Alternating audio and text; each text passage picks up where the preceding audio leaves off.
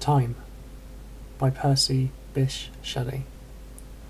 Unfathomable sea, whose waves are years, ocean of time, whose waters of deep woe are brackish with the salt of human tears.